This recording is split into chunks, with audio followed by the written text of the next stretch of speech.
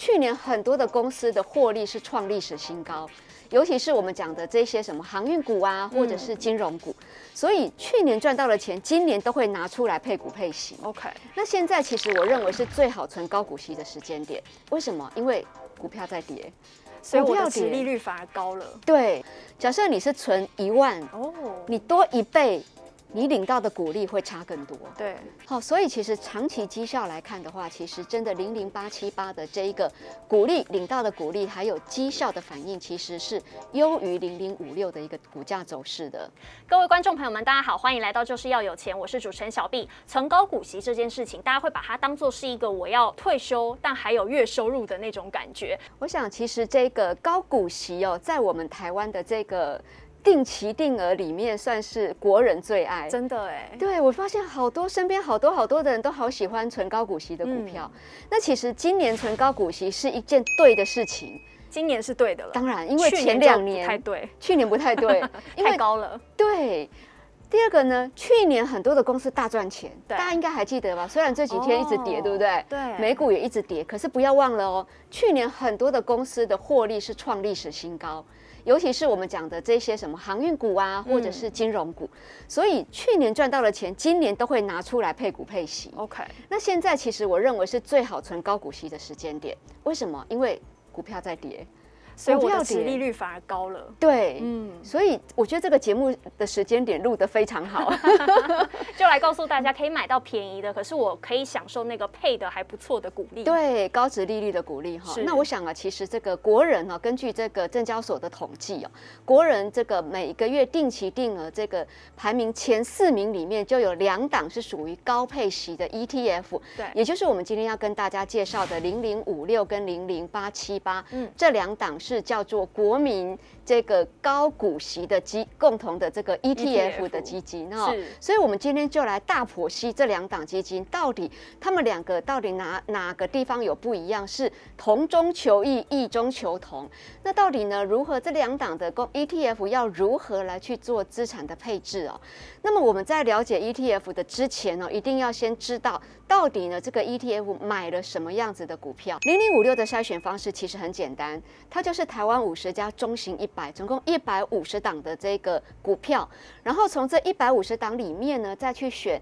未来预测未来值利率最高的三十档股票呢，来去做什么？来去做资产的配置。嗯嗯，所以它是预测未来，所以当然是拿过去有机会这个配高配股配息的，去预测未来的比较好的这一些股票，然后把它列入到我们的成分股里面。那么相较于这个零零五六的这个选择的方式哦，零零八七八就有点不太一样喽。对，写的密密麻麻，这个重点是什么？重点就是零零八七八是选 ESG，哦它多了一个 ESG 的筛选机制，嗯然后从这个 ESG 评分高的股票里面再去选高股息的部分。零零八七八的经理费稍微便宜一点，好，那我们有在投资 ETF 的同学都知道哦，其实成本决定于你的获利，对你只要稍付稍微少付一点，哎，那你就是什么赚差很多。就差很多。嗯所以为什么现在大家也都会去选所谓你的内扣成本比较低的股票的 ETF？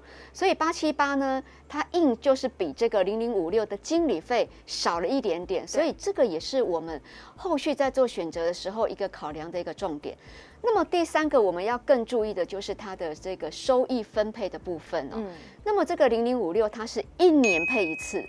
可是我们的零零八七八却是一年配四次。很弹性哎。很弹性，所以它是季配。那我这边提供的是去年配息的部分，一整年大概配了一点一二块的这个息哦，所以其实它配息也是配的相当的不错。换算成值利率来看的话呢，大概是六点一趴的值利率，哇，那这个报酬率是真的优于大盘哎。优于大盘很多，嗯而且不要说别的啦，你光银行定存就打败了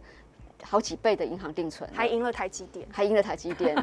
对，所以其实这两档五零零五六跟零零八七八呢，都是我们真正实际上在操作想要配息的人，是一个非常好的一个选择。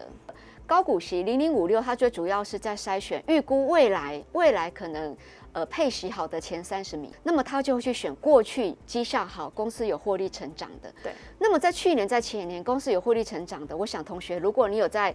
呃，这个我们的股海很久的，你都知道，船产股是比较多，嗯，所以呢，这个零零五六呢，大部分都是以传产股为主。是可是零零八七八就不一样喽，零零八七八我们刚好提到，它是用这个 ESG 加上高配股配息，对所以啊，这个选出 ESG 的股票之后，再加上实利率高的股票的前三十档，那当然了，我这样的上面秀出来是。比重最高的前十档，可是后面的二十档其实有更大部分是属于金融股。OK，我们看下一张这个产业分布的部分哦，这个五六啊，这个资讯科技类比重占到六成四，但是我们的八七八，哎，就完全整个大分散喽。所以八七八第一名是金融保险股，第二名是电脑周边相关的概念股。嗯，那我们说今年说我们今年是号称是美国费的升息的元年，是那只要一升息，对金融股来讲就是利多。所以为什么我们今年的一月到今年的三月、四月都是金融股一直不断在往上创新高？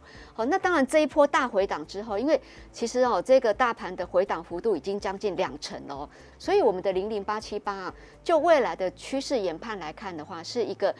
呃，相对比较好的哈，因为它的这个金融股的保比例占的非常大，将近到两成七的部分，好，二十七趴的部分。国泰永续零零八七八呢，呃，我个人的看法是觉得这个如果我们就存股的部分来讲，是一个比较好的标的的一个选择。刚刚有点到，它既然是永续高股息，它硬是比零零五六多了一个永续 ESG。ESG 我们之前的影片大家也可以再去看一下。其实 ESG 很简单，它就是这一个环境保护、公司治理跟社会责任这三项，围绕在这三项的这一些股票里面哦。那其实因为地球暖化很严重哦，所以现在大家都感觉很深刻，要么就是很冷，要么就是很热。嗯第二个呢，在去年年底呢，这个乌俄战争一爆发之后，有一样的农产品涨幅飙高，就是小麦。对，所以这个小麦在这个俄罗斯跟这个乌克兰，他们又是小麦全球小麦最大宗的出口国，所以导致小麦价格窜高，玉米跟黄豆也跟着往上涨，这些都是导致于物价通膨一个最重要最重要的原因。所以呢，这个也是属于 ESG 相关的议题里面哦。那么再来还有一个就所谓的企业社会责任哦，所以啊，这个因为劳资的关系，还有新冠疫情啊，这些重要的议题在欧美已经引发到最非常非常动的回响，所以未来有很多的投资机构法人都会把 ESG 永续投资纳入他们公司的策略里面哦。对，那其实事实也证明哦，有符合 ESG 的股票，他们的长期绩效是优于一般的股票的。台湾政府在二零一八年也把这些永续的一些相关的政策纳入到我们这个呃劳保基金委外投资的时候，一个重要的一个一个参考的指标。政府的这个四大基金，他们如果要委托投信操作的时候，他们都会特别的去要求这些投信在呃下单的时候，或者是要买的股票，一定要符合所谓的 ESG 的相关概念。同时，他们也会去投资跟 ESG 有关的共同基金跟 E ETF。而且这样子听起来，就是零零八七八，它好像有双引擎，也就是它就具有 ESG，又具有高股息。那我们就来比较一下两者的股价好了。为什么老师会说今年会是特别好来去存这个高股息 ETF 的时候呢？对，其实股票会说话。我们看一下零零五六哦，其实零零五六我们都知道，如果大家有在观察大盘加权指数的话，大盘加权指数的最高点落在今年的一月，最高点到现在跌了五个月的时间，回档将近两成。可是你看零零五六的最高点，竟然是落在去年的五月，对，所以它从去年五月最高点一直跌到现在。但是呢，你说它大跌吗？也没有，因为什么？它的配息很高，嗯，可是它也不涨，这代表什么？其实代表哈，这个零零五六的一些相关股票，其实哦，这个股价并没有大幅的成长，反而是因为配息的关系，把股价撑在这个地方。嗯，但是我们接下来我们来看一下零零八七八的股价走势，好，你就会发现哦两个很不一样、欸，是不？是图形完全不同了？。对，所以我们在做投资哦，就是要这样去做比较。这个零零八七八它是非常相对抗跌的，所以代表不仅它有高股息，而且因为它有符合 ESG 相关的概念股，它们的股价反应跟呈现出来的结果是相对优于一般的股票的走势的。在同个画面，大家就可以看得出来，一个呢感觉上好像跌的幅度度比较大，一个就是在提早跌，对，提早跌，对。一个的话，它好像就是高档，哎，稍微有撑一点，所以有撑的就代表它是弱中透强，弱中透强，可以这么说。接下来我们就要来举例啦。假设呢，嗯。小明、小 B 是不知道小明是谁啦，随便。小明、小 B 我们都要一个月拿出五千块来存高股息，我们就要来 PK 一下绩效了。对。存零零五六，存零零八七八，谁的绩效会比较好？其实最简单的哦，我们来看一下，这边我已经有做一张统计表出来的啦。嗯那么这个零零五六跟零零八七八，假设我们固定呢一年一个月存五千块定期定额，哈，有很多这个上班族我都很鼓励他们存定期定额。对，假设我们一个月都存五千块的定期定额，然后呢，我们这个十年下来哦，其实这个零零八七八的这个呃累积领出来的股利是两万六千五百六十块，嗯优于零零五六的两万四千四百八十一块。对那么你不要小看差这两千块哦，因为你只是存五五千哦，假设你是存一万，哦，你多一倍，你领到的股利会差更多。对，好，所以其实长期绩效来看的话，其实真的零零八七八的这一个股利领到的股利，还有绩效的反应，其实是优于零零五六的一个股价走势的。老师，那这个是任一个时间进场的绩效，大概都是这样吗？对，，随便买随便买就。随便买，完全我们不看趋势。好，对，因为十年来嘛，不可能去看趋势来去做操作。对，好所以现在绩效。现在存当然好，但我会跟大家讲，现在存股市非常好的一个时间点。有些人会很 care 那些小小的价位，比方说今天 涨，明天大跌。我大跌的时候，我又会想说，嗯，再等一下会不会还有更低的低点嘛？有的时候等等等那个低点又错过又错过了所以哈两个情境，我们来告诉大家应该要怎么样存。其实高股息 ETF 哈，它是一个进可空、退可守的一个组合的商品哦。除了可以享受股价上涨的一个优势之外，它又因为它筛选出这个配股配息好的公司。第一个就当大盘走势空头的时候，那有赚钱的公司一定会配发很不错的鼓励给投资大众。公司赚钱跟公司的股价走势其实是什么样？其实有时候我们不能把它画上等号，嗯因为公司在经营本业，公司把本业做得很好，然后呢，他把赚的钱呢分配给股东，这个就是一般我们投资股票最正常的获利方式，叫做分配股利。对，当大盘不好的时候，有赚钱的公司还是会把什么该给股东的钱给股东。嗯，所以呢，当大盘不好的时候，我们可以采取两种方式。第一个就是定期定额加股利滚入本金再投资的这样子一个操作方式。哦是 ETF 的价格会下跌，但是我们因为这个大盘不好，我们反而可以赚到更高的值利率。然后呢，把你的利滚入本金里面，这个就叫做复利操作。那么第二个状况就是，大盘下跌到相对低档的位置呢，开始采单笔申购的方式。那什么叫单笔申购？就比如说你身边刚好有一笔钱，五十万、一百万，甚至两百万。对，那以前我记得我上次来节目有跟大家讲过，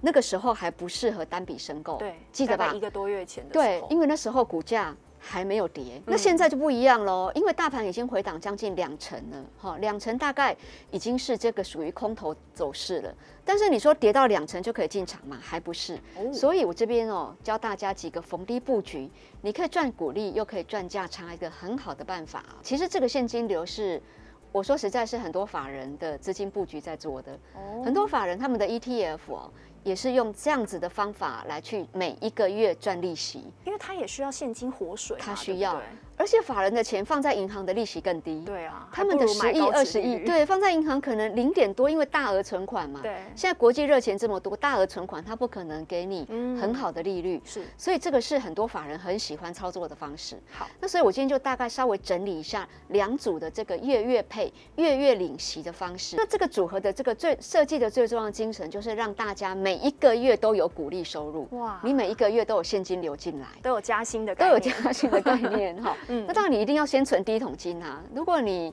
连这个一千块、两千块都没有投资，没有办法投资，那我还是建议呢，先先别想投资理财，先努力工作。这个基本要一个月你能拿得出五万块，这个是以五万块投资为例哈，那我们现在有零股交易，你也卡你也可以把它等比例下降。比如说，哎、嗯我可能没有办法一个月这么多，对不对？对那没有关系啊，你就用一万块也可以。，OK，那但是你就等比例的减少，就除五除五除五这样。对，不你就把它除五。那我们现在可以零股嘛，一股两股都可以买啊。好所以我们都可以用这样方式来去做操作，几乎每一个月都有利息的收入可以滚进我们的本金里面。那所以我就会去设计设计这个零零五零跟这个零零八七八，再加上一个台积电。嗯，好。那最重要是零零五零是采这个半年配的方式，它是一月、七月配息。对。好，然后零零八七八呢，就是我们刚刚讲有一个 ESG 的那个 ETF，、嗯它是二五八十一，那么中间会跳过三六九十二，所以我用台积电把它补进来。你可以用这个零零零五零呢，你可以每一个月哈买一百五十股，然后零零八七八呢，一个月买一张，刚好就是一千股。嗯然后二三三零呢，我们的台积电虽然它股价五百零九块，对不对？但是不用担心，你可以买二十八股。好，因为我们现在零股交易其实是非常活络的哦。对，所以你可以用这个方式呢，打造你每个月投资五万块现金流的一个这个利息收入的方法。这个投资组合有一个比较大的问题，虽然它每一个月都可以领得到利息，但是有领多领少的问题。领多领少。第二个，台湾五十就零零五零跟台积电的同质性太大了，大概将近一半。对所以你买零零五零等于买台积电，半张。所以你没有办法享受互补的价差的方法。嗯，好，所以虽然这个投资组合它可以让你领到月月配息的一个概念，但是当台积电涨，零零五零涨，可是台积电跌，零零五零也会跌，诶，那剩下就零零八七八在撑撑了啊。如果你不想要用这个方式来操作的话呢，那么我还提供另外一个什么不同的投资组合，对，就是我把这个元大高股息再加进来。好嗯，那这个高股息就好喽，哈，因为我们刚讲哦，我们刚刚已经帮大家分析过了，零零五六跟零零八七八这两个高股息的 ETF，它们的持股的内容是不尽相同的。对，一个是用过去来预测未来，有可能它的股利持续会在往上的；那一个就是搭配这个 ESG 加股利的。所以我这次把这个零零六二零八把它加进来，而且还有一个重要重点，它的股价比较便宜。你每个月这个零零六二零八可以买进两百五十股。好，然后呢，零零五六买进五百股，那当然零零八七八，因为它的股价比较便宜，所以你又可以用一张的股票下去做操作，组起来哈，其实它的绩效是相当不错的。意思就是说，当你买到，当这个公司有赚钱，你也可以享受到高股利。那当台积电哦，哪天外资回头，它总有一天会回头嘛。对，当哪天外资回头了，台积电涨上来了，你也可以办法那个什么，享有台积电上涨的一个好的一个波段的一个获利。嗯，所以当大盘在大跌的时候，你反而要头脑更清楚，哎，现在我可以来做什么样子的布局？那么我手上多的一点点的钱，我可以怎么去做？所以永远你有要记得，你投资一万块，那么这一万块就可以帮你生钱。可是呢，你花费一万块，也就是你把这一万块拿去花掉了，就什么都没有了。对，所以现阶段呢，当大盘在大跌的时候，反而是我们开始要找好标的、该进场的时候了。老师，那这个长期投资下来啊，有没有一个很优的绩效可以分享给大家？就是我可能每一年我可以有多少趴的一个收入？其实如果就过往的绩效来看，因为前两年我说实在，前两年是真的比较不准，对，因为前两年是历史大多嘛头，对连续涨了三年、四年，所以前两年其实。呃，我们拿最简单来看的话，如果就这一组的一个投资组合，就前前一年或前两年，其实它的平均报酬率都将近有一二十个 percent 左右，平均大概十五趴左右，哦，那也很不错哎。很好啊，很好。那你不要忘记喽，现在是大跌哦，所以你除了赚股股票的绩效之外，